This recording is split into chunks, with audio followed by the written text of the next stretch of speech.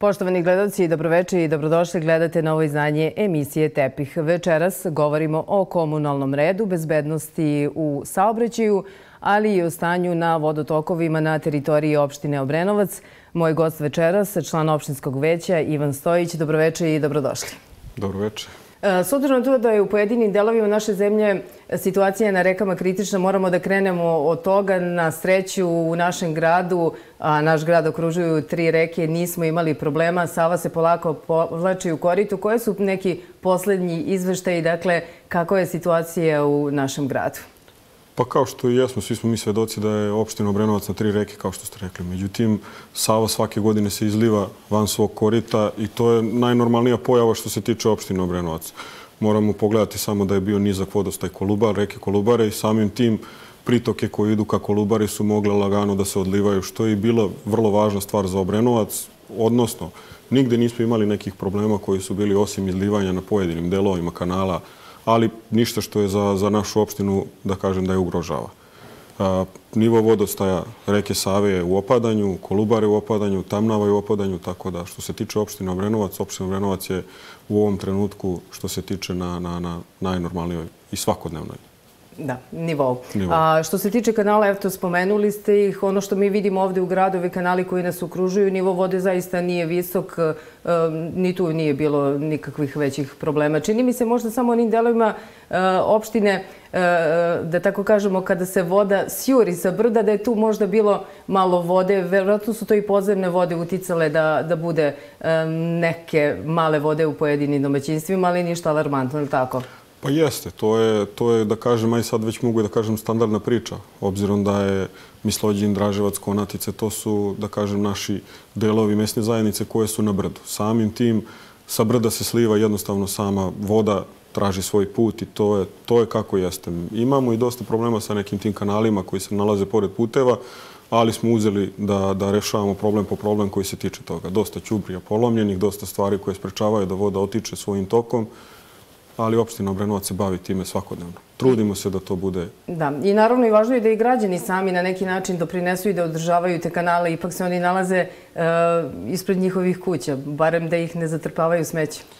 Slažem se sa vama i mogu bi da kažem da je ovo sada i apel svim našim građanima da povedu računa, jer ta Ćuprija nije samo ulaz za automobil, već je ta Ćuprija predviđena za neke druge stvari i propusti koji su potrebni ispred Ćuprija. Ako već nešto žele da urade, nije ni dobro da zapuše taj propust koji je već bio ili postoje ili ovo, jer jednostavno kanali su mnogo pre nas i pre svih postavljeni tu samo da bi odvodili vodu u neku drugu, da kažemo neki drugi kanal i sprečili da njihova odrožišta budu popravljena. Opština Obrenovac je opet, kažem, i bila na terenu ovih dana kada su kiše bile visoke i što se tiče mesta zajednice Mislođin, Draževac, Konatice. Sve smo obilazili i trudili se da pomognemo svakom našem građaninu vatrogasne službe, sve one ekipe koje su potrebne za rešavanje bilo kojeg problema koje građani imaju u tom momentu su se trudile da budu dostupne njima 24 sata, baš zbog njihove sigurnosti, jer to je ono što jeste cilj našeg grada, da građani se osjećaju sigurno u svojim domovima. Pre dve, tri nedelje imali smo mali nekih problema na kanalu Stara Tamnava, međutim brzo se pristupilo zajedno sa Srbije vodama, Beograd vodama, sve očišćeno i tada je bilo reči da će se kanal čistiti od Uh, E, ulaza u javno komunalno preduzeće do Grebača, ili tako? Pa znate kako, mi smo prošle godine obavili čišćenje kanala Stara Tamnava, znači od obala utvrde kod, kod e, reke Kolubare do same Nisove pumpe. I to je pokazalo, e, da kažem, jedno dobro ogledalo opštine Obrenovac, jer ja sam se nasmijao u momentu čišćenja, su se samo mi ribari i pecaroši prilazili i govorili da je počela da radi riba, na, na, na kad mogu tako se izraziti. I ono što jeste cilj naš, ne samo da očistimo to, nama je cilj da očistimo od grebače našeg deponije do opet obalu utvrde da dođemo u situaciju da korito stare tamnave bude perfektno čisto. Kao što ste bili sami na terenu prisutni, videli ste, mi imamo odličnu saradnju sa Srbija vodama, još bolju saradnju sa Beograd vodama, zato što su oni svakodnevno s nama na terenu. To su ljudi koji su oči i uši na terenu naše vezano za nivo reka, za nivo kanala. I to je ono što kažem da, da, da stvarno ponosan sam u ovom trenutku što mogu da kažem da je neko svakodnevno na terenu. kogod da kaže drugačije nije istina. Kao što ste videli na staroj samom Tamnavi gde je veliki broj e, algi, trave, zapušio propuste koji nisu mogli da odvuku vodu dalje ka ili crpne stanici ili obol utvrde, ali opet vam kažem, brzom reakcijom smo rešili problem, naši sugrađani su sada sigurni, a ono što jeste jedan veliki posao pred nama, to je čišćenje stare tamnave. To je dužine četiri nešto kilometara, To je posao koji će trajati jedno mjesec i po dana i mi se nadamo da ćemo uskoro imati realizaciju uz obećanje Srbija voda da je to spremno i da će biti u narednom periodu urađeno. Da, mi imamo u Brenovcu 450 km kanalske mreže. To ne može se očisti sve odjednom. Mora jednostavno tako da se godišnje radi deo po deo, pretpostavljam. Pa, tako je. Mi imamo veliki broj kanalske mreže. Opet vam ja kažem, to je posao. Svako ko nije došao do tog kanala ne može da zna koje su to količine mulja, koje su količine algi, trave i kabastog otpada koju jednostavno nesavesni građani bacaju ka, ka našim kanalima. Kao što ste malo pre naveli, mala briga građana bi trebalo da se povede, malo veća, ajde da kažem, briga građana oko naših kanala. Ne samo kanala pored kuća, nego i kanala koji se tiču same te stare tamnave i ostali kupinci i svega. Narod misli da je to odlaganje smeća nešto što će voda da odnese, a u stvari ne shvata da će ta voda negde samo da odnese i da zapuši neki propust, kanal, propust cevni ili nešto što odvodi tu vodu tamo. Mi imamo sada trenutno na samoj Zabranskoj crpni stanici povećan rad ljudi koji moraju da budu na, na dežurstvu. Zašto? Zato što imamo veliki priliv kabastog otpada, moraju da uklanjaju to, mora da se non stop rade. Crp, crpna stanica rade punim kapacitetom. Tako da, kažem, sve što je potrebno da se brinemo o trenutnom stanju na, na tim kanalima koji okružuju naš grad, a to jesu Kopinac, Stara Tamnava, sve te pritoke koje dolaze, mi se trudimo da budemo i na terenu sa njima i da svakog dana na poziv građana se pojavimo na lokaciji gde možemo da im pomognemo. Ja sam očekivala da će građani nakon eh, maja 2014. malo promeniti te ružne navike. Možda se i menjaju na bolje. Pa gledajte, znate kako, ja, moje mišljenje uvijek bilo da, da, da građani Obrenovca su savjesni građani. Ali u svakom tom postoji pojedinac. To je moje mišljenje, ja stojim iza toga. Znači, naši građani jesu savjesni, pojedinci se pojavljuju, ali to je nešto što postoji u svakom gradu, u svakoj opštini i to je jednostavno nešto protiv čega se borimo ne samo opština Obrenovac, proti toga se bore i ministarstvo i sekretarijati. I jeste cilj da dođemo do svakoga. Zašto? Zato što je najvažnije baviti se tom, da kažem, tim delom da, da narod shvati da nije odlaganje otpada potrebno baciti gde god može. Nego mora, postoje određene stvari, postoje, ako smem da kažem, i kabaste subote i sve stvari, i javno-komunalno preduzeće, i opština Obrenovac, i ulaganja velika u sklanjanje tih otpada, samo da ne bi dolazili do toga. Jer Znate kako, mi se borimo za zaštitu životne sredine, a dolazimo do toga da zagađujemo sami ispred svog dvorišta. Jedan od razloga zašto je osnovan i Savjet za komunalni red, čiji ste vi predstavnik, on postoji već e, tri godine, je upravo taj. E, naravno, čini mi se da nikad nije bila ideja da se neko kažnjava, već da se možda i kroz neke akcije e, i kroz naše priloge građanima ukaže na neke probleme da promene ružne navike za ove tri godine. Kako savjet funkcionište? Ste vi zadovoljni? E, pretpostavljam da imate i dobru saradnju sa građanima i oni vam ukazuju na probleme koje možda vi ne znate. Naravno, ne možete sve znati što se dešava na našoj opštini. Pa znate kako, ja uvek kažem i kada nam se obrate građani u tome, ja kažem da su oni naši oči i uši na terenu. Zašto? Ne postoji dovoljno službi koji mogu da vide svaki problem. Zato i jeste potrebno ono što, što smo mi pričali i pričamo već ove tri godine. Znači, e, otvorili smo aplikaciju na dobro poznat broj komunalnog reda 062 302 518. Ljudi nam se obraćaju za svakakve probleme. Nisu to samo problemi deponija i svega. Ali e, ta svest mislim da se podiže znači, u smislu da, da, da, da, da građani shvataju i da oni kažnjavaju te pojedince o kojima smo malo pre pričali. Što jeste cilj. Nije cilj da mi kažnjavamo bilo koga da vršimo represiju, nego samo dođemo da mu podignemo sve da shvati šta radi.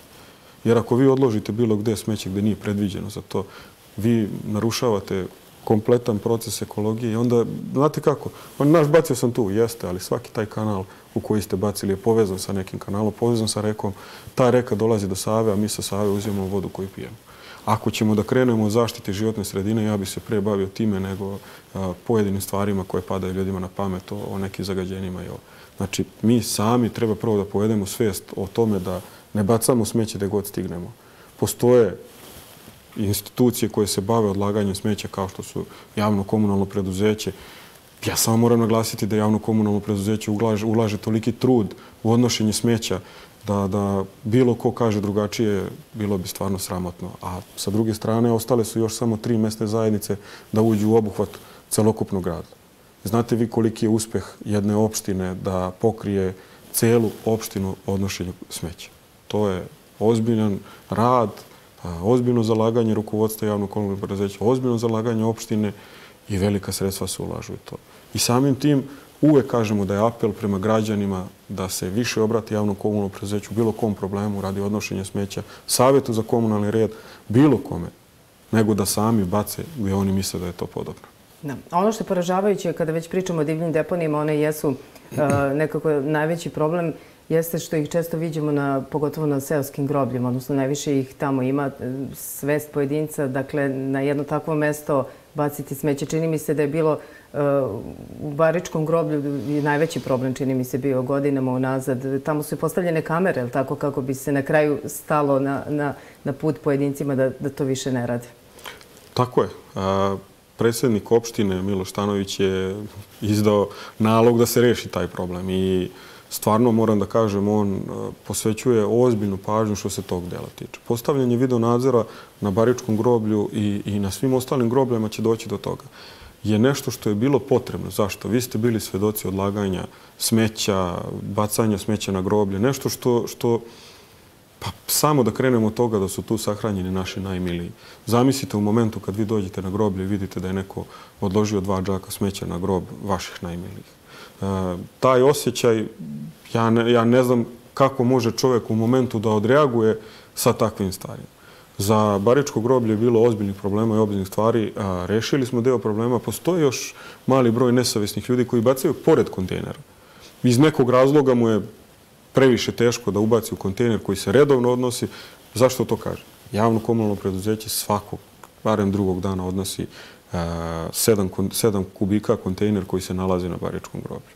Mi kamerama s imamo i zabeležili smo veliki broj nekih nepravilnosti, ali opet kažem, e, sve te nepravilnosti smo ne represiju, nego razgovor. Ja sam i prošli put, mi smo imali situaciju kada sam sa komunalnim milicionerima išao od adrese do adrese, kada smo došli do toga, pošto ima postupak u kome oni dođu do vlasnika vozila koje je to uradilo. Došli smo kod čovjeka na adresu koji je rekao, ja znam zašto ste vi došli. Mislim, svest građana se menja i ja razumijem da je on u momentu čovjek rekao, znate ali ja nisam mogu da podignem kesu. I onda, zato i kažem, ta represija nije potrebna jer ja smatram da taj mali broj pojedinaca koje ćemo rešiti, ali kako ćemo ih rešiti? Razgovorom, edukacijom. To je ono što se bavimo. Bavimo se edukacijom mladih, bavimo se razgovorima. Prikazima koje vaša televizija radi, koje svakodnevno prilozi, samo ove tri godine deponija koliko smo očistili, više i nezamislivo kad me neko pita šta je, da kažem ljudi. Ne možete ni da zamislite. A na pojedinim mestima e, e, su se stalno javljale deponije, međutim, čini mi se sad malo da se e, promenila ta situacija. Postoje neka mesta koje znam da smo redovno snimali i obilazili, sada se sada toga više nema. Dakle, vidi se napredak i po tom pitanju, dakle, ne mislim samo na seoska groblja, nego negde pored puta, čini mi se kroz prozor da, da izbace kesu. pa znate šta, nama su počeli da se javljaju građani iz svih mesnih zajednica, što je meni fascinantno da su se svi uključili. I jednostavno, da li su to konatice, da li je to orašac, da li je to ljubinić, da li je to dren. Znači, nema više, da kažem, selektivnog dela, pa kao ajde da se bavimo tim jer narod želi. U ovom trenutku toliki broj poziva i jeste za čišćenje tih kanala, puteva i svega. To je ono što ljudi vide da i prepoznaju kao problem. Zašto? Zašto bi vi bacili eh, smeće ispred vašeg, ako već imate obuhvat koji je uključen, ako imate kabastu subotu, koje javno komunalno preduzeće odnese preko 200 adresa? Ja ne vidim razlog bilo kome da, da, da mora da odloži bilo kakav krevet ili bilo šta. Znači, javno komunalno preduzeće dođe na vaš poziv, na vašu adresu i odnese kabasti otpad u, u, u, u veličini od 2 metra kubne. Besplatno. Besplatno. Da. I jednostavno to je akcija koja je stvarno, moram reći, veliki trošak ne samo za javno komunalno preduzeće, za opštinu Obrenovac, to je ulaganje i odricanje tih ljudi da dođu na svaku tu adresu, da se postigne u te dve subote, da se odnese sve što građani prijavi. I opet apel jeste ka tome. Nastavite. Neka bude i 300 adresa. Nije nikakav problem. Odneće se u tri subote. Ali je bolje da mi odnesemo kabasti otpad iz vašeg dvorišta nego da vi napravite deponiju. Bili ste svedoci u ulici Nemanjinoj, u naselju Gaji, jedan gde građani konstantno prave deponiju ispred svojih kuća. To je fascinantno, ali kažem, to je sve stvar pojedinaca i jednostavno u nekom trenutku ja mislim da će se sve to rešiti. Jer smatram, kažem, ja smatram da nijedan građanin Obrenovca neće da ruži svoju sredinu, ali pojedinci uvijek postoje. Recite mi, da li vam je lakše da, pogotovo Savet i vi u opštini Obrenovac, da li lakše funkcionišete kada postoji kancelarija komunalne milicije u Obrenovcu, sada su oni beli, ili tako? E, vjerojatno vam je sad malo lakše udruženi da radite na rešavanju svih ovih problema koje smo spominjali. Pa znate kako, oni su počeli zvanično da rade u opštini Obrenovac, da kažem, početkom ove godine. Početkom prošle godine, izvinjavam se. I, i, I ono što jeste važno, a, a najveći je problem, to su nepropisno parkirani automobili. Mislim, znate kako, ni oni dogovor kada su došli u opštinu Obrenovac je bio da se ne bavimo represijom, nego da se bavimo edukacijom i postoje vozila koja su slikana, postoje vozila koja su ovo, ali je važno da, da, da se oni bave ne samo kažnjavanjem ljudi za bilo kakav problem. I za te deponije pričao sam kada su se oni pojavili, imaju mnogo brži način reagovanja nego naša komunalna inspekcija. Ne to da oni ne rade nešto, nego komunalna inspekcija je predviđena da se bavi mnogo većim stvarima i sa te dve službe kada imamo u Obrenovcu, mi mnogo lakše možemo se bavimo problemima građana i da ih rešavamo. Jer ono što jeste cilj da građanin kada se požali, možda nekome to delovo mali problem je za njega najveći. I to je ono što jeste cilj i Saveta za komunalni red i toga što je komunalna milicija sada sa nama u Obrenovcu i komunalna inspekcija, znači da svi radimo udruženo da rešimo problem građanina. Jer ja razumem svakoga od njih, možda nama u nekom trenutku deluje da je problem mali, ali je njemu najveći. I zato jeste cilj i savjeta za komunalni red da budemo svaki dan na terenu, da saslušamo i da probamo da rešimo nešto. Da li imaju razumevanje možda za one građane koji parkiraju automobile? Naravno, ima onih koji, ljudi koji parkiraju, kako se to kaže, tamo gde stignu, ali e, zaista na nekim delovima grada ljudi jednostavno nemaju gde da parkiraju, pa moraju da ostave e, svoje vozila malo na trotuaru, malo na zelenoj površini. E, da li ima tu nekog razumevanja? Da li se radi na tome da se nekako reši taj problem ili jednostavno građani moraju naći način negde da, da parkiraju svoje vozila? Pa gledajte, ako mi u opštini Obrenovac imamo ulicu Majora Tepavca koja je izgrađena sa, sad ne bih tačno, ja mislim 120 parking mjesta. Malo iskorišćena, nalazi se tik uz glavnu ulicu. Znači, građani samo moraju da, da, da krenu da koriste i samim tim kada budu počeli da koriste ulicu Majora Tepavca, kada budu morali, počeli da koriste parking pored, uh, ovoga, pored vojske, od doma vojske, kada budu eh, te delove počeli više da, da, da, da eksplotišu, da koriste, mi ćemo imati sve manje problema sa gužvama, sa manje problema. Mi imamo te, opet ja kažem, veliki deo građana koristi sve te usluge koje stvarno uh, Ja ne znam, mi, ja sam skoro bio u Vrnjačkoj banji gdje sam vidio da je 300 dinara dnevna karta za parkiranje, u Obrenovcu je 130 dinara. Da parkirate danas ceo dan dostavite. Bilo koju od usluga od naših parkinga je 50-60 dinara da platite sat vremena da uđete i da koristite. Ja razumem da nekada je hitno sva četiri stanemo, ali sva četiri za kupovinu cigareta ili za ulazak u radnju na brzinu nisu rešenje problema. Zašto? Jer događa se da stanu iza grada i tako da autobus ne može proći hitna pomoć, ne, osoba sa invaliditetom ne može prođe, majka sa, sa kolicima. Mislim, zašto bi bilo ko trpeo zbog par minuta koje on kaže? Znači, ajde da probamo svi da budemo savjesni i tada će građani manje koristiti. Postoje, naravno, realni problemi sa nedovoljnim brojem parking mjesta u Obrenovcu. Ja se slažem sa tim. U pojedini delovima grada. U pojedini delovima grada. Ali gledajte, mi imamo od 2014. do 2022. 27.000 automobila, vozila registrovanih više u opštini Obrenovac. Kada kažemo 27, u ovom trenutku ja mislim da, e, ja kažem to je dobro, to pokazuje da je ekonomska situacija mnogo bolja kod naših građana kada mogu sebi da priušte dva automobila. Kada mogu da dođu do, do, do i tri automobila u kući. I to je super. Ali moramo naći, naći način da svi mogu propisno parkirati. Mi smo u nasilju Topolici izgradili deo parkinga. U ulici Kralja Aleksandra izgradili deo parkinga. E, dosta se ulaže u, u mnogo više parking mjesta. Ali ako mi ne koristimo njih, sećate se parking u crkve, kako je delovalo u tom momentu da neće. Sad na tom mjestu ne možete parkirati auto, jer nema dovoljno prostora. I imamo plan, naredbu predsjednika opštine, da nađemo još dosta lokacija gdje ćemo otvoriti nova parking mjesta.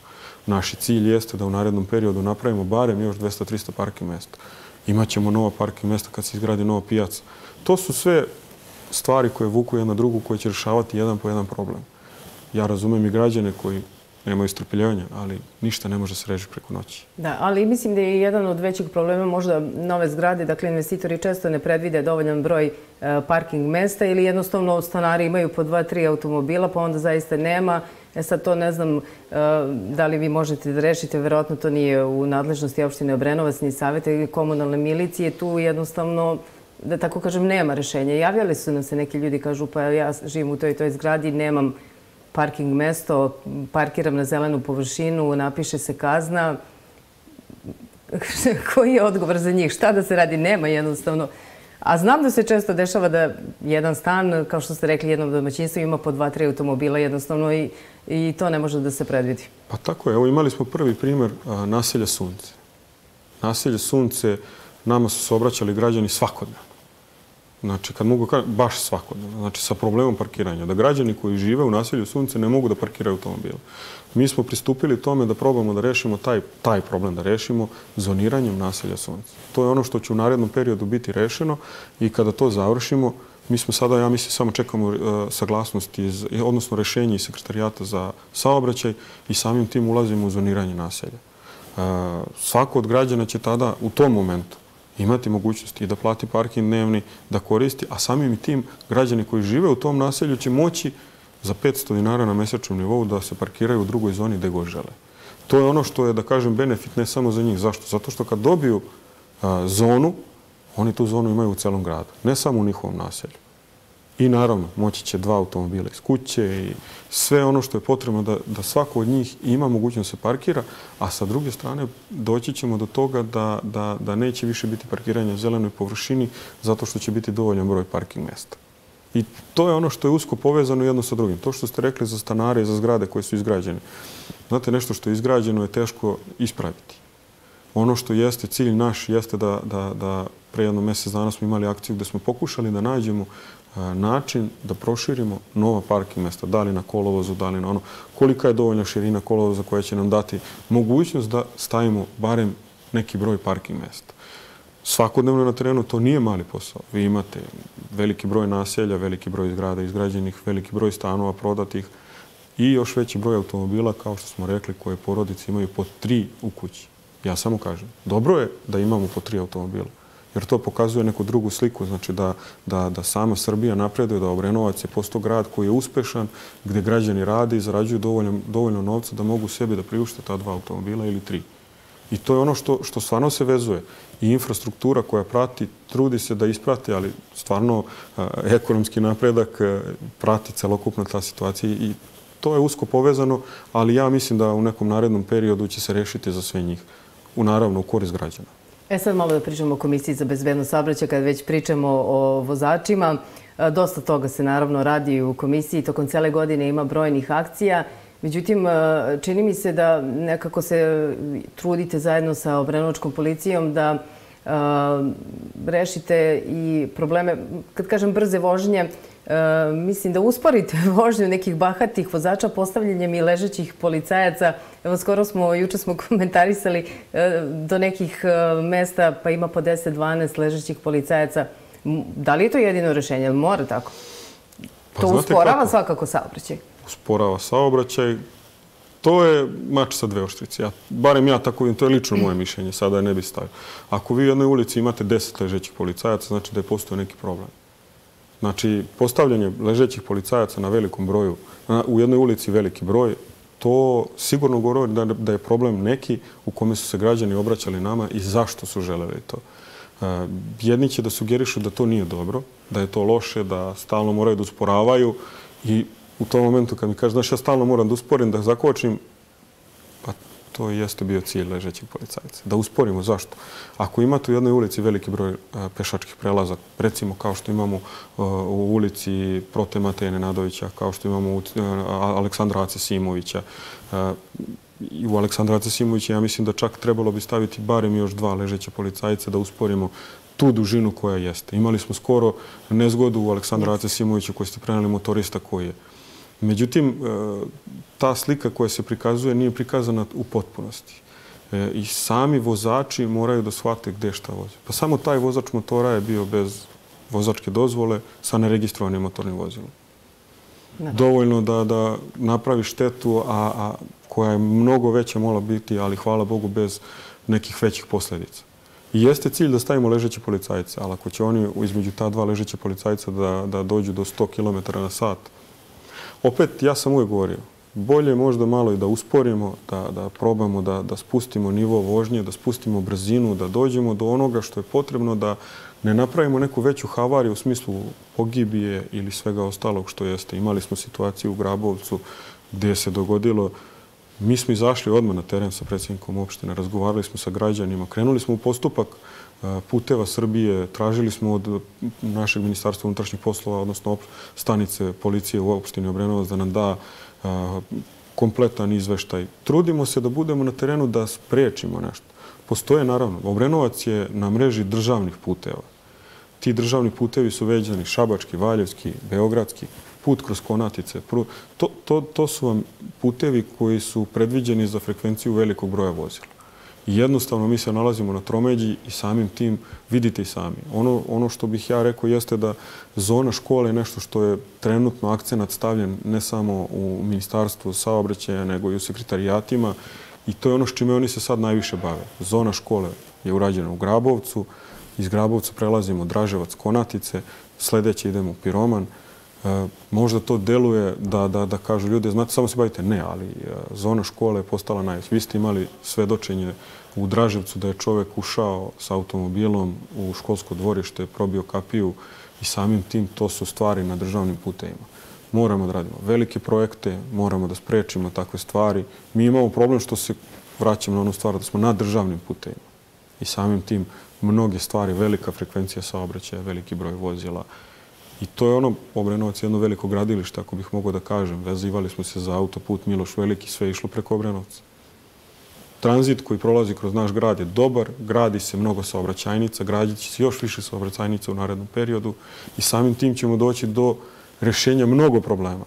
Ali se trudimo da u ovom trenutku probamo da rešimo ono što je najvažnije, da sačuvamo naše najmlađe na, na, na putevima, na saobraćajnicama i to je ono čemu bi trebalo da se bavimo. E, Nemanjina ulice u toku su radovi. Pretpostavljam sad je druga ili treća faza. Kad se završe svi ti radovi na asfaltiranju, da će biti postavljeni ležeći policajci. To će biti sad pista, da tako kažemo. Pa ja, znate, imao sam... Imao sam... U toj ulici su bili tako ležeći, tako vratit će se, pretpostavljam. Imao sam skoro situaciju da su me građani zvali. Znate, ova ulica je loša, treba da se asfaltira. Izasfaltira se ulica, ja sad... Znate, ova ulica je sad postala pista za vožnju. Uh, daj da stavimo ležeći policajci. Pa ako budemo stavili toliki broj ležećih policajaca u sve te ulice, zašto smo ih onda asfaltirali? Zašto smo se onda trudili da te ulice budu lepše za naše građane, da bi oni sačuvali automobili? To je ono što ste vi mene pitali. Da li je potreban toliki broj ležećih policajaca? Potreban je u ovom trenutku. Zašto? Zato što još nemamo tu sve zgrađano oko brze vožnje, oko toga šta jedan mali sekund može da uradi i da promeni život. Ja bi se samo vezao na situaciju da smo imali predavanje Slaviše koji je došao ispred Agencije za bezbednost gdje je održao predavanje. Čovjek, sa, on je dečak tad bio, sa nepunih 18 godina imao saobraćenu nesreću i ostao osoba sa invaliditetom. On sada ide i priča deci kako je se to njemu dogodilo. I šta je tih pet minuta koliko je on žurio uradilo za njegov život. Ne kažem ja da je on sad negde to, ali on je zbog pet minuta svoj život odveo u drugom pravcu. On je voleo da igra futbal, on je voleo mnoge stvari koje vole dečaci i koje vole devojčice, ali u tom trenutku je sebi karijeru okrenuo u drugom smeru. Njegov život se promenio za 180 stepeni i od osobe koja je bila spremna za sve je morao da postane osoba u kolicima, sa osoba sa invaliditetom. On je čovjek sve uspeo u svom životu i meni je drago kada vidim da se takve stvari događaju. Ali opet vam kažem, jedan sekund ne znači nikome ili pet minuta. Svi ćemo stići na vreme, Važno je malo da usporimo, važno je da brinemo o našim mališanima, važno je da gledamo na pešačkom prelazu pešake, bicikliste. Pa mi imamo oko Obrenovca biciklistički staza i previše za korišćenje. Ali naši biciklisti se brinu o tome zato što se ljudi parkiraju na, na, pešačku, na pešačku biciklističku stazu. I onda se žale, znate, nas uslikali na pešačku biciklističku stazu. Pa da, ali ona je predviđena za pešake i za bicikliste. Da, često idu ulicom, a mislim da vozači ljutimo pa što ne idete stazom kad imate, ali dobro, ima svega. A, jedna samo molba da završimo priču o ležećim policajcima. Ako i nastavite da ih postavljate, sigurno ćete samo da ne budu toliko visoki. Najidealniji po meni kao vozaču kod novog kružnog toka. Kada bi svi mogli da budu onako izgrađeni, ono je idealno, dovoljno uspori saobraćaj i amortizeri i gume sve, sve na To su platforme, to su inače platforme, tako je, i to se radi. Onda neka se stavljaju platforme. Pa gledajte, znate da smo mi dobili jedan zahtev, ne bih sada imenujem, ali nama su tražili da povećamo visinu ležećeg policajca. To je zahtev koji je stigo kao opštini Obrenovac i moram priznati da kada sam se čuo sa ljudima iz sekretarijata, zanimljiv im je bio predlog jer nisu do sada imali tako nešto. Tako da ima različitih mišljenja. Da, ipak bolje neka budu ove platforme. Meni se čini i mnogi su komentarisali da su onako idealne uspore saobraćaja i nema nikakvih problema. I evo da, e, da se pred krajem emisije baziramo i na ono što čini mi se da vi najviše volite komisiji za bezbednost saobraćaja da radite. To je stalna edukacija najmlađih. Dakle, da ne bi imali kako ja kažem, bahate vozače, oni koji ne znaju ni migavac da daju kada skreću, e, potrebno ih je edukovati od malih nogu. Brojne akcije imate tokom cele godine. Tu je pažljivko, sad je bila i regionalna smotra u našem gradu za osnovci takmičenja šta znaš u saobraćaju. Dakle, zaista radite mnogo toga na njihovoj edukaciji. Pa kao i svaki put što pričam, najvažnije je krenuti od malih nogu. Mi se bavimo preškolcima, prvacima, drugacima, bavimo se svakim uzrastom i trudimo se da oni budu svakodnevno, da kažem, ja, ja moram reći inspirisani. Znači oni kada imaju mogućnost nekog takmičenja ili nešto, oni dobijaju želju da uče to što jest. Bili ste prisutni sa pažljivkom, krenuli smo sa, opštin, sa školskom, sa opštinskom, sa regionalnom. Evo sad, 14. juna, naši drugaci iz osnovne škole Prvoj Obrenovačke idu na republičko takmičenje u Kragujevcu. Ja se nadam da će se vratiti sa medaljom ono što bih rekao, znači dosta naših je pokazalo, naše dece je pokazalo izuzetno znanje u saobraćaju. E, to je ono što ste vi rekli. Svakodnevni rad. Mi imamo saobraćenu policiju koja je svakodnevno s nama negde na terenu gde se bavi. Pre neki dan smo imali u Arboretomu pokaznu vežbu. Imaćemo javno pokazne vežbe koje se tiču naših najmlađih. E, trudimo se pažljivka da im odnosimo. Trudimo se da im dajemo dosta knjiga. Trudimo se sa tribinama i, i što više takvih stvari i akcija, da kažem, e, trudimo se da, da i deci damo nešto. Imali smo takmičenje šta znaš u saobraću u prvoj Obrenovačkoj školi, gdje je opština Obrenovac izašla sa, sa, sa poklonima za, za decu. A, e, verujte mi, meni svakodnevno ti roditelji prilaze. I jedva čekaju sljedeću godinu. Lepi I ja kažem, tako je. Ali to je ono jeste da, da, da bi mi njih e, motivisali za dalje rad, morate da oni razmišljaju o tome kada smo završili takmičenje, ja sam rekao, znači, ok, sljedeće godine ćemo biti još bolje. Ali vi imate zadatak da do sljedeće godine pripremite još bolje znanje o saobraćaju. Verujte mi, odziv dece tada i roditelja koji prolaze je da se ozbiljno spremaju, traže nam knjige, dodatne pažljivka, traže nam sve knjige koje se tiču saobraćaja. Ali opet bih rekao da mi imamo i dosta profesora koji se bave decom, koji objašnjavaju šta je saobraćaj, dosta učiteljica, dosta uh, vaspitačica, to je ono što jeste da je to jedan krug u kome svi moramo da učestvujemo. Pa pažljiv ko pesma stani levo, desno. Ja, ja ne znam da li jedno dete u Obrenovcu ne zna tu pesmu. Ali kažem, to je ono što jeste. Mi krećemo, cele godine sa njima se bavimo. U toku leta ćemo imati tribine koje će opet biti vezane za njih. Pokušat ćemo da ih motivišemo, da ih dovedu. Ako ništa, bavit ćemo se preškolcima koji trenutno su tu, da kažem, oni nemaju taj raspust koji imaju naši džaci, ali važna stvar je da oni znaju sve da znaju šta je crveno, da znaju gde treba stanu, da znaju na koje svetlo prelaze, na koje ne smaju, gde se prelazi, kako se prelazi, kojim se, kojom se brzinom prelazi pešački prelazi, kako se ponaša na pešačkom prelazu. Verujte mi, pratili ste naše takmičenje pažljivka kada smo imali znanje naših osnovaca, preškolaca, je bilo fascinantno ne samo za nas, nego i za predstavnike agencije koji nisu verovali koliko se mi bavimo njima. Tako da od njih očekujem u narednom periodu. Ove, ove godine su na, na, repu, na ovom regionalnom uzeli su učešće Kung Fu Panda koja je bila pobednik. odnijeli su drugo mesto. Draževačka osnovna škola je odnijela drugo mesto i prvo Obrenovačka škola u drugom razredu je odnijela prvo mesto. I oni nastavljaju. I kažem, izuzetna saradnja, a i videli smo primjer šta su naučili, koliko su naučili i sa čime mi moramo se baviti u narednom periodu. Drago mi da to čujem. I samo za kraj, jedna od najlepših, verovatno veoma najdražih akcija Komisije za bezbednost saobraćaja podela dečih autosedišta. Verujem da se ono nastavlja i meni je drago kada vidim punu e, salu skupštinsku roditelje i dece kada dođu da preuzmu ta autosedišta. Slažem se sa vama. Ja mislim da ne postoji lepša stvar od toga bili ste prisutni u ove dve podele sa nama gde smo... E, Ja moram reći jednu stvar. Inicijativa predsjednika opštine je bila da svako dete u Obrenovcu dobije autosedište. E, zašto? Zato što statistikom koju je radila agencija prikazalo se da najviše je potrebno baviti se tim delom. Znači, autosedište u momentu kada dobijete dete je jedan veliki trošak i samim tim e, motivacija da znate, pored državnih posticaja, da znate da i vaša opština brine o vama. I to jeste ono s čime smo mi htjeli da se bavimo i to jeste zašto ćemo se baviti. I zato bi sad jedan apel ka svim građanima opštine Obrenovac koji dobiju mlade, znači koji dobiju dete. Znači u ovom trenutku možete se prijavite za svako dete rođeno od 2. decembra 2022. godine pa nadalje otvoren konkurs. Znači svako rođeno dete u Obrenovcu će dobiti autosjedište. Jedino što je obaveza roditelja jeste da se prijave, Prijave imaju na sajtu, prijave imaju u opštini Obrenovac, formulare mogu da uzmu na samom pultu info kod našeg obezbiđenja opštine Obrenovac. Ništa nije teško i pozivam ih, sedišta su izuzetno dobra, mi smo se bavili time da budu kvalitetne i najkvalitetnije. I edukacija će biti za svakoga od njih u svakom momentu kome je bilo šta potrebno. Drago mi je da to čujem. Dakle, i uputili ste poziv roditeljima. Hvala vam što smo ovako lepo završili emisiju sa ovim lepim informacijama. A, naravno, bit će prilike i na terenu kroz naše emisije da opet e, pokažemo u čemu je Komisija za bezbednost u saobraćaju ili Savez za komunalni red uspeo i naravno da ukažemo na neke probleme kako bi to promenili svest pojedinaca. Hvala vam na razgovor. Hvala vam na pozivu. Poštovani gledalci, pratili ste još jedno izdanje emisije Tepih. Ostanite uz program televizije MAK. Prijetno večer.